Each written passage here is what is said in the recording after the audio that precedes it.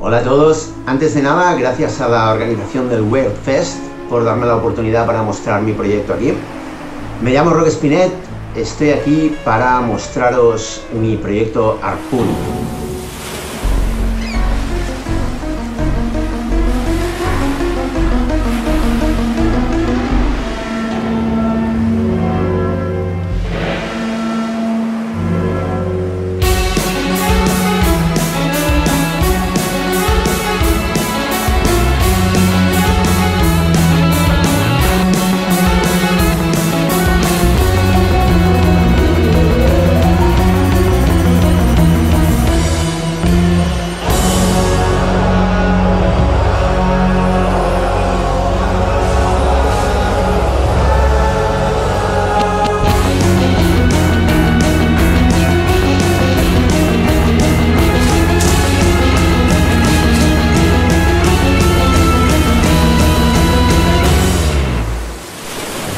Harpoon es mi segundo cómic después de Chica y Lobo, del cual estoy muy contento, que además tuve la ocasión de presentar en esta misma plataforma. Y es un cómic de aventuras con un fuerte eh, componente psicológico y con tintes de terror. Es un cómic de 180 páginas a color. Después de hacer Chica y Lobo me apetecía adentrarme en, en una historia más desgarradora e impactante y de aquí el concepto de Harpoon. Eh, para que os hagáis una idea, pues los referentes de Harpoon, obviamente sin compararme, simplemente son los referentes. Por supuesto Lovecraft, la obra de Lovecraft, del que todos somos fans.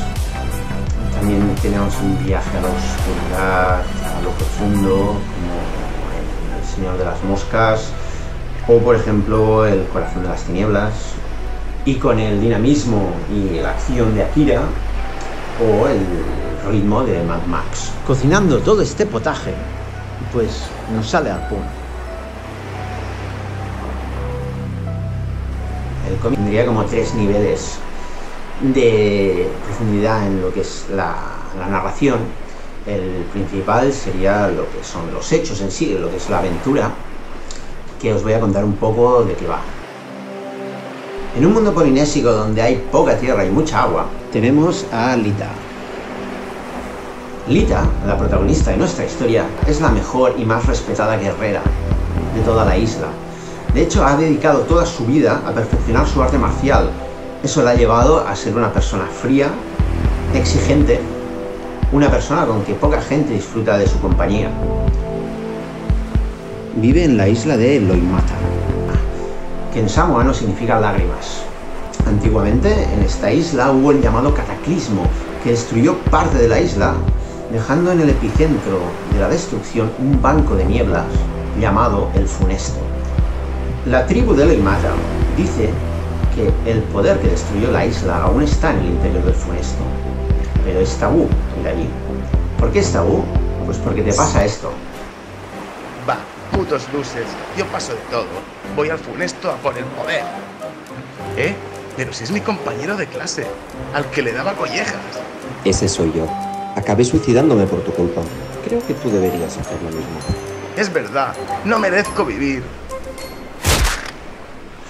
Pues eso, que en el funesto los traumas de tu pasado, que solo ves tú mismo, los fantasmas de tu pasado, te impulsan a matarte o a matar a otros. Hay que ser psicológicamente muy fuerte para entrar ahí dentro. Además, también hay criaturas dispuestas a desmembrarte y hacerte sufras. Vamos, que no es un lugar para ir de vacaciones. Y bueno, nuestra historia inicia cuando una mañana la isla de Loimata se ve rodeada por millares de canoas invasoras. ¿Quiénes son estos invasores? ¿Qué quieren de la isla? ¿Por qué llevan estas máscaras? Ante la superioridad de estos invasores, nuestra protagonista Lita decide adentrarse al funesto para hacerse con el poder que se dice que hay ahí para defender la isla. En este punto entramos en el segundo nivel,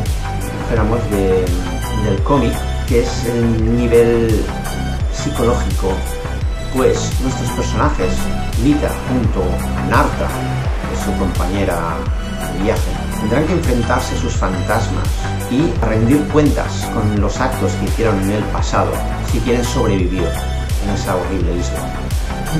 Lita en esta aventura eh, descubrirá de una manera terrible y salvaje que no todo vale para ser la mejor, que la vida no es simplemente competir con los demás para ganar. Narta es una gran admiradora de Lita, quiere ser ella, de hecho.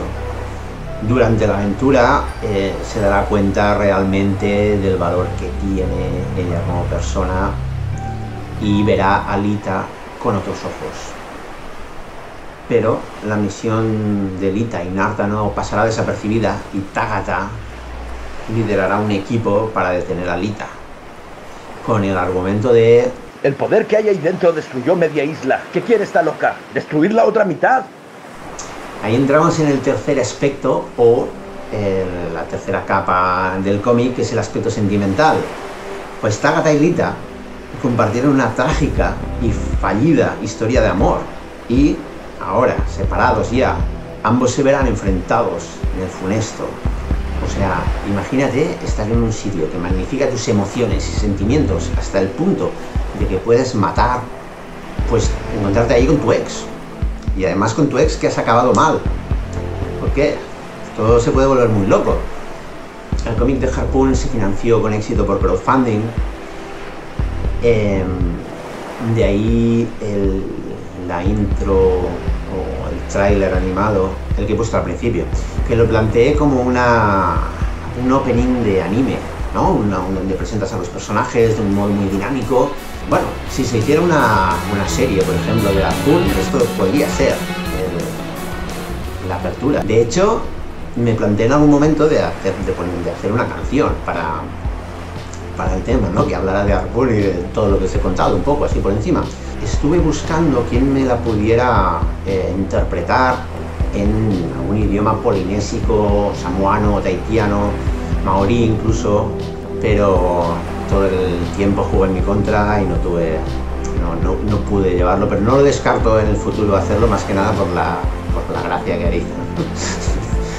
eh, pues una canción así polinésica como de opening de serie.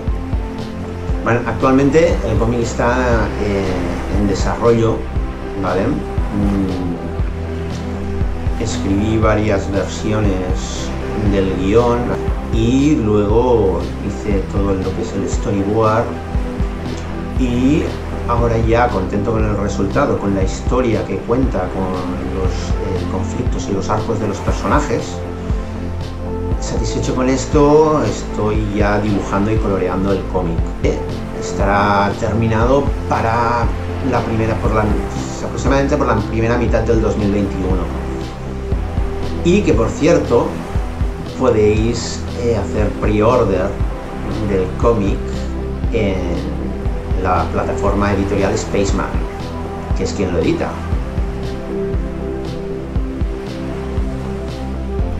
Muchas gracias por vuestra atención y espero que podáis disfrutar de esta historia tan desgarradora como la herida de un arpón.